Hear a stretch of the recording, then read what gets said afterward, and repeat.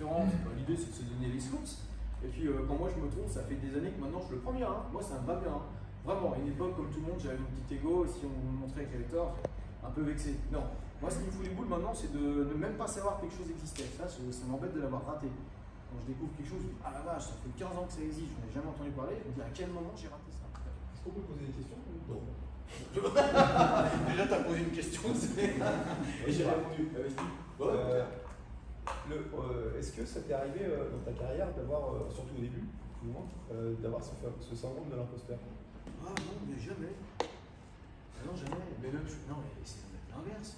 Moi, j'ai envie de dire, j'ai connu des mecs, ils étaient personne en fait. On les amène dans des clubs, des fois ils font qu'un an, donc le préparateur physique a l'impression de récupérer le footeux. Dans un an, c'est plus le tien en fait, en exagérant.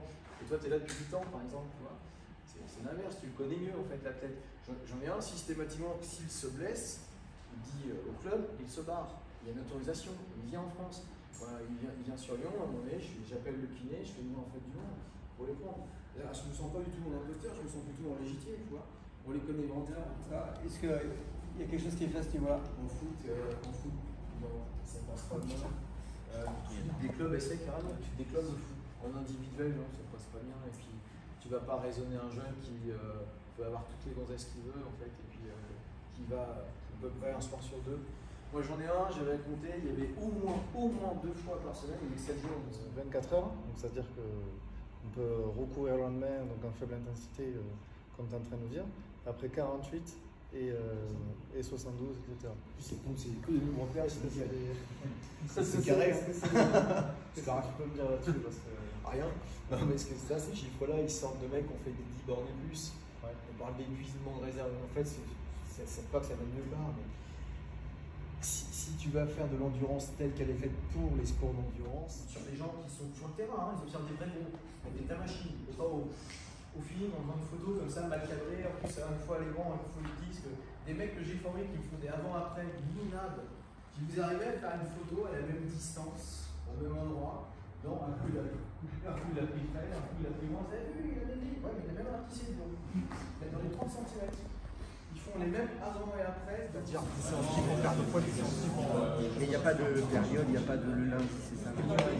Voilà, c'est pas détaillé sur une programmation. c'est- d'avoir une contraction continue et de faire un mouvement où tu relâches, tu, euh, tu contractes, tu relâches, tu contractes, c'est pas un truc un peu euh, contre nature. parce que sont lourds les électrodes filaires. Et en fait, des fois, tu sais, le, le, le, le- le- l'électrode, elle se. Elle, là, J'ai- j'ai- J'ai eu l'idée, j'ai eu l'idée, j'ai eu l'envie, mais j'ai pas osé. Le mec il l'a fait Vidéo, sérieux Je sais pas, vous ça. tout le public. Parce que ce qui est bien, c'est que la semaine prochaine, soit vous augmentez en fait le volume d'entraînement, au lieu de 20 minutes, je fais 25, soit vous augmentez l'intensité. Et une semaine sur deux, c'est l'un ou l'autre. Jamais les deux, ce qui fait qu'on peut se faire un petit programme sympathique de, de progression, mais au moins contrôlé, à l'arrache. Parce que euh, moi j'insiste très très lourdement quand je mets les étudiants, je, je les emmerde.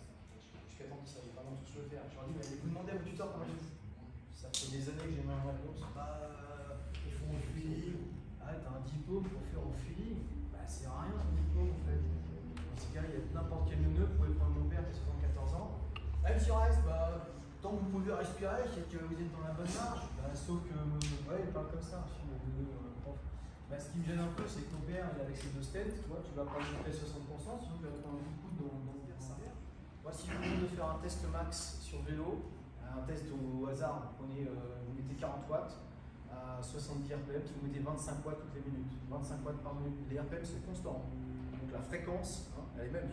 Par contre, à chaque fois, je vous rajoute 25 watts. 25. Dans 10 minutes, je vous ai mis 250 watts dans la allez voir, ça commence à être un peu plus difficile. Dès que la cadence n'est pas maintenue, c'est que vous avez en fait votre puissance est rendue maximale. Vous avez en fait peut-être 300 watts ou 310 watts. Eh ben, il y a des petites formules qui permettent de retrouver le volt de max. Quand vous avez le volt de max divisé par 3000, vous trouvez votre vitesse aérobie maximale. Quand on a un sportif blessé, c'est juste génial. Parce qu'on peut passer de sa performance de course à une performance de vélo. Parce qu'il faut vous dire que des gens blessés au niveau de la cheville et euh, du genou, il y en a plein. Quand vous avez en fait leur rame, bah, moi je peux te mettre à 60% en fait, euh, de ton volt de max sur un vélo. En étant assez précis. Parce que vous êtes capable de passer des kilomètres heure au millilitre par, kilogramme au watt. coup, on n'a pas le temps de faire le calcul, mais je vous, je vous un petit fait, je l'ai écrit sur Word, avec deux exemples qui passent de l'un et à l'autre. Et ça se fait assez facilement en fait. Du moment où vous avez au moins une- un chiffre, vous pouvez facilement euh, switcher. Ça me sert depuis des années en fait. hein. C'est-à-dire que j'ai des collègues de mon âge, ils ne se sont jamais servis de un simple, ça ne savent pas le faire. Euh, moi j'ai toujours un sportif qui a des malades de dos, des malades de filles. On bouge pas, enfin du. Et comment on fait bah, Alors soit on dit au feeling. Mais non, il faut pas du feeling. Et à un moment on va bosser à 75%, après on va bosser à 80, puis 85, et on est capable de faire un truc. Maintenant, dernière info, ce sera la dernière. Comme ça fait des années que je vous fais ça, euh, souvent ça foire. Je sais ça depuis pas très longtemps. Il y a une raison très simple, c'est qu'il y a Wattbike, qui est une très bonne machine, qui est précise. Il y a Kaiser, qui est une super marque, qui est précise. Et puis il y a le reste du marché du fitness. L'erreur peut être de 40 à 60%. à peu près. Voilà, tu vois. Voilà. Donc les watts que vous avez sur Technogym, c'est pas les watts que vous aurez sur Panata et c'est pas les watts que vous aurez sur pas quoi. Donc il y a un moment donné, il faut utiliser des bons outils, c'est tout. C'est ce qui me permet de comprendre pourquoi des fois ça ne marchait pas bien et que j'étais obligé d'adapter. Euh, Une fois que j'ai vu l'étude qui montrait que toutes les machines qui marchaient, c'est de la double, à part celles qui sont faites pour ça, Wattbike c'était pour ça. Ça porte bien son nom, Wattbike. hein. C'est un vélo puissance, un puissant vélo.